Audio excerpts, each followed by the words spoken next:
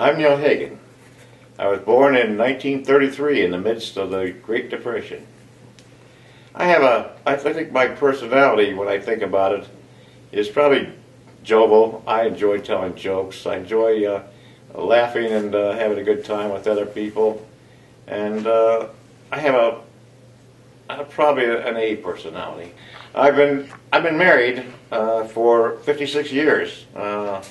Uh, 56 very beautiful years, uh, in which uh, I've had a wonderful wife and two wonderful children, and uh, uh, it's been a very progressive, step-by-step uh, uh, uh, process towards the future. I have uh, three grandchildren. Uh, one of them is uh, 20 years old and is uh, a senior at Youngstown University. I have two other ones that are in uh, uh, a Catholic university, Catholic school, high school here. Both uh, one named Chad and the other named Carl. Both of these boys are very heavily involved in sports and are also very good academically. When I was younger and going to high school, I played basketball, baseball, and softball. Uh, I would played football, but our school, high school, was small enough that we couldn't uh, couldn't field a football team. So uh, uh, those three sports were the major sports for the high school attended, which was Somerset Township High School in southeastern Ohio. You know, I've got a lot of activities I like. I like to do many things, but probably my favorite activity as I grew older is golf. I love to golf, and uh, if I had to, like, I would love to spend every moment. I'm, I'm also like to fish, and if I could get back to doing that for some time, I would do that also. In my uh, collegiate career, I uh, attended uh, for two years uh, General Motors Institute of Technology in Flint, Michigan, uh, and then finished up going to local schools here and at Youngstown University where, where I graduated. I have a degree in business administration, but I uh, trained as an engineer, and uh, all my training and work was as an engineer at uh, General Motors. After working for 40 years at uh, General Motors, I retired and opened my own business. I became a manufacturer's representative, and for 10 years I uh, serviced all of the automotive trade in wiring uh, and uh, uh, automotive wire. I was in the I was in the National Guard, uh, the Ohio National Guard, for four years. Uh, and part of that time was I met my wife during that time, and as we dated for some length of time, we set our marriage date. And because the draft was in effect at that point, we wound up, I wound up being drafted two days before we were to be married. And since I had some rank in the National Guard as a sergeant, I went down and enlisted, which allowed us to postpone the induction date for my military service onto the uh, two weeks after the wedding. So we managed to manage that just very, very close. Uh, it was it was a close. My my poor wife was almost ready to, to collapse by the time we got this finished. While I was in the army, I was stationed in uh, Germany. I was a medic, and uh, the place I was stationed at was on Siglerhof in in uh, western Germany, and we ran a hospital train which went down and picked up patients all over Europe, even down into Italy. And we down through the Brenner Pass into Italy, picked up patients in Naples. I remember one time we picked up a patient in Naples, uh, and he had uh, been listed as a schizophrenic. Now, at that point back then, uh, the Army had a discharge clause which is called Section 8. If you could prove you were crazy, then you were discharged with no bad discount or no bad discharge of any type. You are simply listed as as a a not uh, fit for the service discharge. We picked up this individual in Naples, and uh, for four days I talked to him on the way back to the main hospital in Germany. And all I got from him was just plain, ordinary talk as, a, as if he was an, individual very brilliant. And finally, on the fourth day, we were approaching the hospital he was supposed to be discharged to, I said to him, You're shooting for a Section 8, aren't you?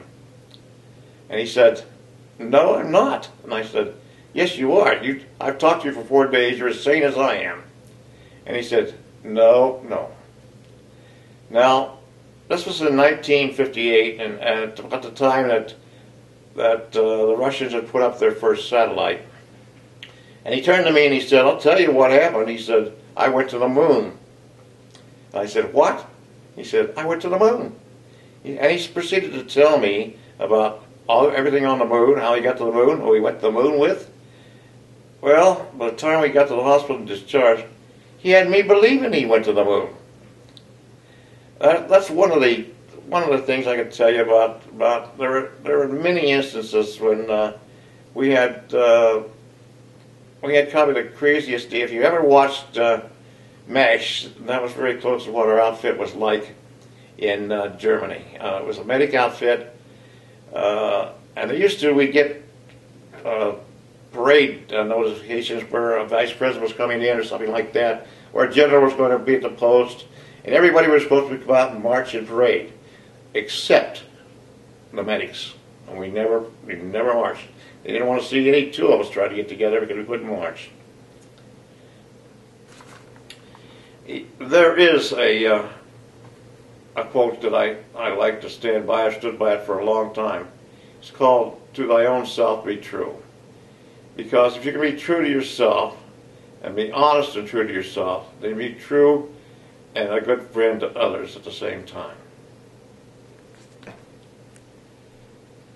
I've uh, had a lot of heroes in, in the time that I've been going through this vale of tears. But the, probably the greatest hero I ever had, and the greatest one I respected the most, was General Eisenhower. General Eisenhower successfully fought the Nazis into a stop and won the Second World War practically on his own. Then he became President of the United States, and a period of prosperity and peace followed. Uh, enough for anyone to respect that kind of an individual.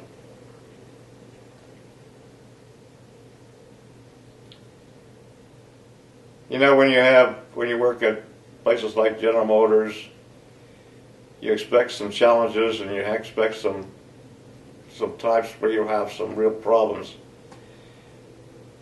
I at one time had charge of the fusible link which went into the fuse circuits in the General Motors vehicles.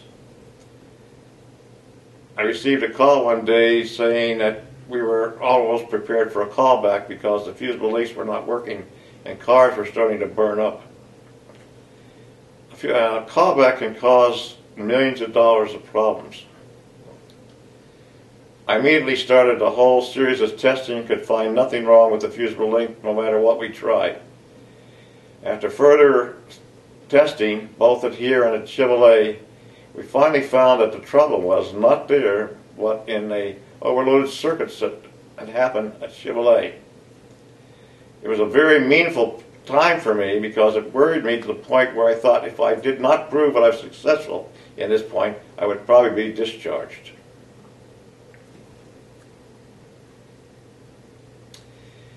You know, if I could change some things in the world, I'd love to do it. But probably the most thing I'd love to change the most would be poverty. If we could eliminate poverty, we can eliminate wars. We can eliminate we can eliminate people suffering day by day because there's not enough to eat, no place to live, and squalor. So if I can eliminate poverty, I think that's the greatest thing to be done. I have lived a lot of long life here, as you can see, and a lot of people think they know me very well, but, but there's some things they probably don't know about me. I, for instance, uh, sing. Uh, I'm told I have a very good voice, and uh, at one point I was uh, sang for weddings uh, across the state. At another point, I was chat- I was uh, a cantor in our church.